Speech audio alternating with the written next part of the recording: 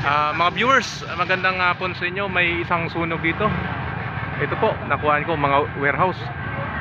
Grabe, napakakapal ng ano ng ano ngayon. Ng usok. Nasunog yung ano, nasunog yung warehouse. Tama-tama na daanan ko. Ayan, tingnan niyo po mga viewers, grabe. Napakalakas. Nap- napakalaki na yung ano, yung warehouse po ito yung nasunog. Warehouse, warehouse ng ano to, malapit magka ah, dito lang sa may ano, sa may area na to.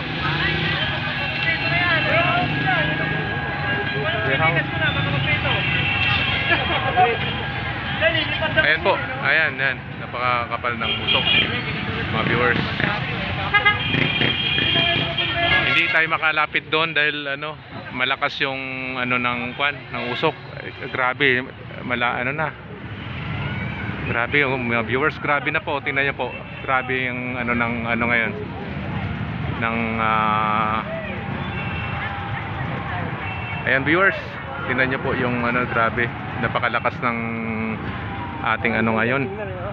Ah, ano to, warehouse, warehouse ng ano ng dito sa may pinag ano, pinagbuhatan. Ah, kainta, sakop na ng kainta sa kabila ano, pinagbuhatan. Ayan po, napakaraming bumbero na. Yan po yung maisi-share ko ngayong hapon. Nap napadaan lang po ako dito sa area na to. Hindi tayo makalapit. Grabe ang ano, mga viewers, tingnan niyo po. Kuha tayo ng ano. Ayan. Grabe, napakalaking ano, lumawak ng sunog. Ayan. Ayan mga viewers, napakaraming ano na mga napakaraming bumbero. Tama-tama pagdaan ko, kakasimula pa lang ngayon, lumaki na. Dalawang warehouse na po yung ano, nasusunog. Ayan. Ayan po, grabe napakalakas ng ano ng sunog ngayon. Yung viewers, abangan nyo. Tinan nyo po yung ano yung ah, sunog na to, grabe. And madalapit pa ako dun sa ano ko sa and napaka ano, napakainit na dito. Kaya talagang ano, grabe. Ayan po. Sunog, sunog dito sa may sakop na to ng Kainta, no? Kainta, Kainta na ano? Ano, warehouse ng ano to? Warehouse kaya ng ano yan? Sandoval daw eh. Ah, Sandoval Pasig, sakop pa ng Sandoval Pasig, ayan.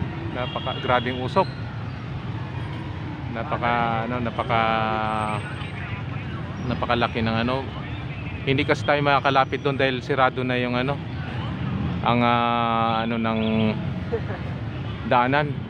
Hinarangan na ng mga bombero ng mga para mga para truck. Ayan, tinan mo grabe viewers so grabe oh pag ah, grabe yung usok, napakatindi.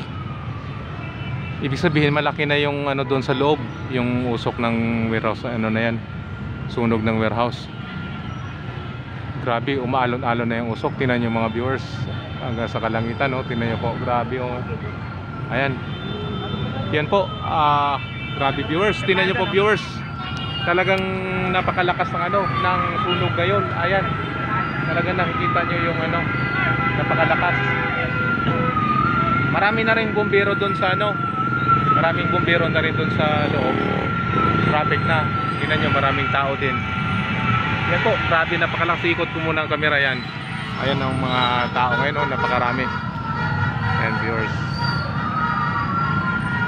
Yan ang isi-share ko ngayong hapon sa inyo, yung sunog, sunog dito sa may Sandoval Avenue, sa may Kainta. Sakop na yata ito ng Kainta. Kainta Pasig. Magkano lang sila magka dikit lang sila mga viewers. Ayan. Abangan niyo po, tingnan niya po ang ano, ang usok napakalakas. Lalong lumakas habang ah, binubomba siguro ng tubig doon sa loob. Ayan. Anong warehouse yan, sir? Century? Ah, Century? Century to? Ito? Century yung kasunod na yun eh. Ay, ibig sabihin, Century na tamaan ng Century? Oo, siguro kung mga kasunod yan. Ayun, mga viewers, grabe. Ano na, ma malaking mga warehouse po ito, yung nasusunog dito sa area na to. Kaya, pagtabayan na natin ng konti, viewers. Nag, may nag, ano na doon, nagpuputukan doon sa loob. Siguro mga ano yun, mga, ano dyan sa loob, mga gamit nila na, yan, tinan yung viewers. Ayan po. Video na habang uh, hinintay natin po yung ano binubomba na rin ng tubig doon sa loob kaya grabe yung alon ng ano ng usok na yan. Ayan, nagpuputo ka na. Sumasabog kaya lalo lumalakas yung... Sumasabog yung ano, siguro may mga may sumasabog sa loob, mga viewers, grabe. Ayan. Yan po. At talagang dito na lang talagang dito lang tayo sa ano na to dahil napakalakas ng ano ng sunog ng warehouse na to. Mabuti nakalusot ako sa kabila kaya nakakuha ako ng ano ng video mga viewers. Ayan, viewers, tingnan niyo po, grabe oh, napakalakas ng alon ng alon ng usok. Grabe. Viewers, tingnan niyo po. Ayan, tingnan niyo po yung dalawang ano na, dalawang bubong na yung nakain ng ano ng uh, ano na yan, sunog na yan. Napakalakas, grabe viewers. Ayan. Hindi natin alam kung ano ang sanhi ng sunog na yan. Ayan lang ang na, maibabahagi ko sa inyo ngayon yung sunog ng ano na to. Sunog dito sa nadaanan kong ah, lugar. Kaya kinuhaan ko na rin para may mai-share ako sa inyo mga viewers. Yan po ang ating ah, ano ngayon yung sunog dito sa ah, boundary po ito, Kainta, Pasig. Ang nadaanan kong sunog na to, napakalakas na sunog. Ayan, shout out dyan sa inyo mga viewers ko. Magandang hapon dyan. Ito po yung maisishare ko sa inyo, mga subscriber ko. Ito yung maisishare ko sa inyo ngayon, yung sunog dito sa ah, Sandoval Avenue sa may Pasig. Ayan, yan po ang ano ah, factory ah, factory po ito, yung warehouse ng Century. Magkadikit lang po ito, Century yata ito.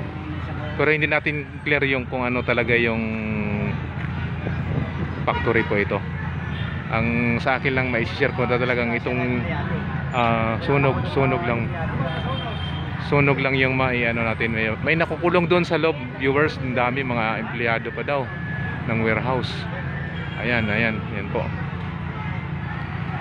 ayan viewers talagang ah, napakarami na ng tao dito sa ano ko. Iikot ko yung camera habang ano. Ayan napakarami na oh. Tingnan nyo marami na, napakaraming tao na na kumukuha din ng mga video para i-share din nila sa ano sa mga live nila sa FB nila. Ayan. Yan po. Magandang hapon dyan sa inyo lahat mga viewers. Ito lang ang may share ko sa inyo. Ito lang ang ngayong hapon ang may bibigay ko talagang napakalaki ng sunog ng ano na to ng nadaanan kong warehouse. Grabe.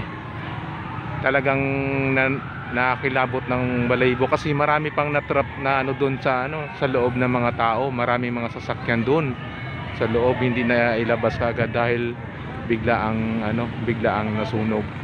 Ayan. Ayan viewers talagang ah, tuloy-tuloy lang po tayo sa pagsubaybay kung ano ang makukuha pa nating ano ah, detalye doon sa sa sunog na ito. Pero okay na mga viewers na pa okay na lahat na mga bombero dito. Dito sa malapit na area na to ay nakarespondi naman. Kaya sobrang ano ng usok na to dahil ah, inaano po nila yung ano yung sunog. Napakalaki kaagad. Grabe. Kumalat ayan magandang hapon po sa inyo lahat. Hanggang ah, dito na lang muna yung aking ah, pagbibideo mga viewers. Shout out dyan sa magandang hapon dyan sa ah, sa ano sa inyo dyan sa Century Tuna yung ano katibi na kabinatan niya no? Sa likod sa likod oh. Ah, mga viewers, hanggang dito na lang muna ang aking may share sa inyo. Ah, may nagtanong kasi sa akin, kaya hindi ko rin masagot dahil hindi ko rin kabisado yung ano dahil kumuha lang po ako ng ano ng video para ito lang may share ko sa inyo. Ah, magandang hapon diyan sa inyo. Ito po yung ano natin ngayon, ang sunog dito sa Sandoval Avenue. Eh, Sako po ito ng Pasig boundary ng kasama na rin ng Sakainta. Ay, yan po. Yan po viewers, grabe. Napaka napaka ano? Napakalakas, grabe. Ngayon na lalong lumakas. Ayan, ayan, yan po. Sige po viewers, ah, magandang hapon. Alamin ko kung ano ang ano nito. Ang sanhi ng sunog na to. Hindi muna ako mag hindi na po ako magtagal dahil ano ah pinapusod na po yung aking ah, sasakyan dahil ah, s- dumadami na po yung mga nanonood ngayon mga viewers at saka mga sasakyan. Nagka-bulbul na. Sige po, hanggang dito na lang aking pag-review. Ikot ko muna ulit. Maraming salamat and good day dyan sa inyo. Ah, ito lang maibahagi ko sa inyo ngayon yung ang sunog ng nadaanan kong warehouse. Sige po, magandang hapon and good day. Bye-bye po, bye-bye.